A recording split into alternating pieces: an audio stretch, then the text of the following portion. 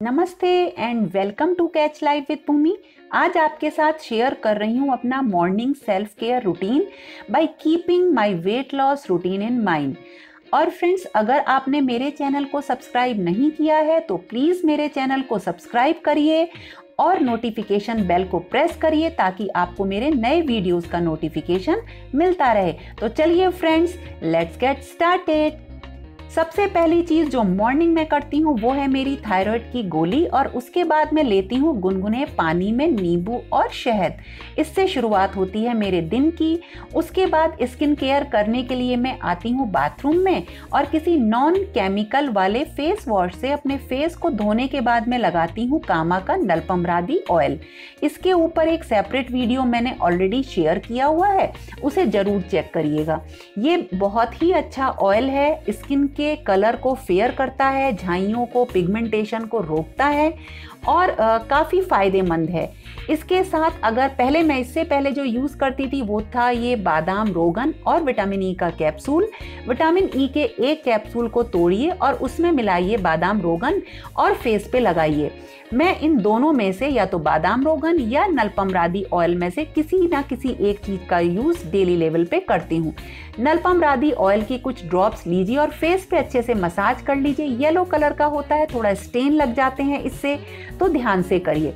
इसके बाद मैं आ गई। देखिए, किचन में क्योंकि बनानी है? गर्मा गर्म चाय और चाय बनाते साथ साथ मैं करूँगी अपने डिटॉक्स वाटर की तैयारी। फैमिली में सब पीते हैं डिटॉक्स वाटर। डिटॉक्स वाटर की रेसिपीज़ मैंने शेयर करी हुई हैं। आज बना रही हूँ ग्रीन टी का और सेब का, एप्पल का मैं बना रही हूँ डिटॉक्स वाटर। डिटॉक्स वाटर को बनाने के बाद मुझे अपनी चाय की तैयारी करनी है तो अब चाय बन गई मेरी और चाय बनने के बाद मैं बैठूँगी बाहर और मज़े लूँगी अपने प्लांट्स के और आउटडोर चलने वाली बहुत अच्छी अच्छी हवा के, ताज़ी हवा के।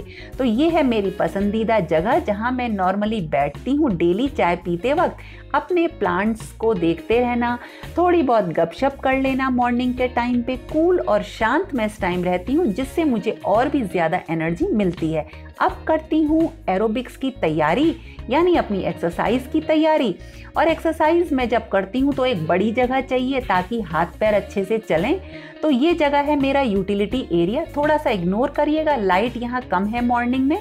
मैं करती हूँ यहाँ पर अपनी एक्सरसाइज जो एक्सरसाइज मैं यहाँ पे करती हूँ, इसका मैं पूरा एक डिटेल वीडियो आपके साथ शेयर करूँगी।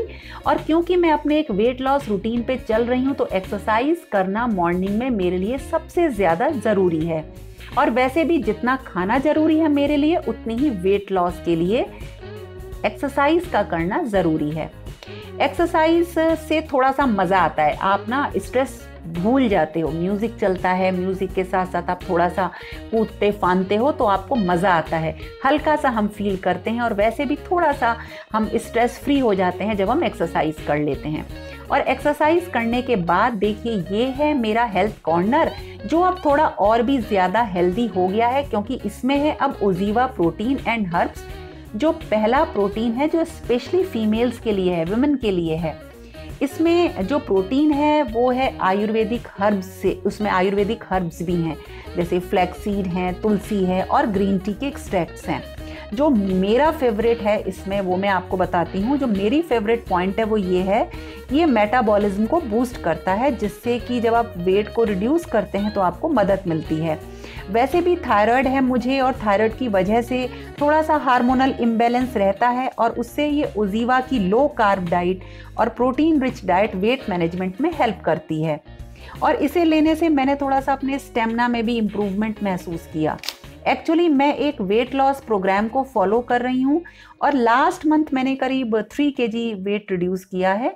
और इस ड्रिंक को मैं पिछले दस दिन से ले रही हूँ। और मुझे आ, मतलब कभी भी कोई लो एनर्जी की प्रॉब्लम या स्किन और हेयर की कोई प्रॉब्लम महसूस नहीं हुई। और पहले भी जब मैंने अपना वेट रिड्यूस किया था तो मुझे हेयर की थोड़ी सी प्रॉब्लम हुई थी जिसे मैंने एक्स्ट्रा प्रोटीन लेके ही रिकवर किया था। कभी आपके साथ शेयर करूँगी। तो ये वैसे भी इसमें क्लेम है कि ये हेयर ग्रोथ को प्रमोट करता है और स्किन टेक्सचर को इम्प्रूव करता है। और वैसे जो और भी इसके पॉजिटिव्स हैं, जैसे ये सोया फ्री भी है ग्लूटेन फ्री है, इसमें कोई एडेड शुगर या एडेड प्रिजर्वेटिव नहीं है। और इसमें क्लास ए वे प्रोटीन है, जिसमें 28 विटामिन और मिनरल्स हैं, जो हमें नॉर्मली अपने डेली के खाने से नहीं मिल पाते हैं। अब इसे लेना कैसे? आप इसे पानी के साथ ले सकते हैं या दूध के साथ ले सकते हैं। मैं दोनों ही तरीकों से इसको लेती रहती हूँ। अगर आप वर्कआउट करते हैं तो इसका एक स्कोप फुल लीजिए।